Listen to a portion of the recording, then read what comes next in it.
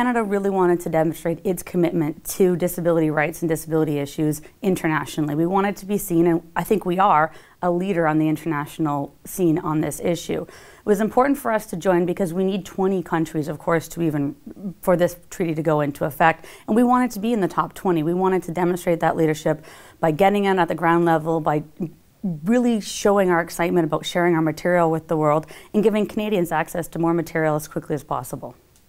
As someone with a visual impairment, I know how limiting it is not to be able to access all information whenever you want to access it. What I read is directly driven by the size of the font of any given book. So I walk into a library or a bookstore and I don't think, gee, I'd like to read something. I think, what can I read? And I know that everybody that has the same level of vision as me feels the same way, and it's frustrating and it's limiting. So the idea that I will have access to and others will have access to a broader range of material in accessible format is very, very touching and it's exciting because if you think of people who want to get into the workforce, people who are students, we know that 33% of Canadians who are visually impaired don't have jobs. We know that many students with visual impairments drop out of university because they just can't get the material they need in order to, to, succeed. And it's super frustrating for them.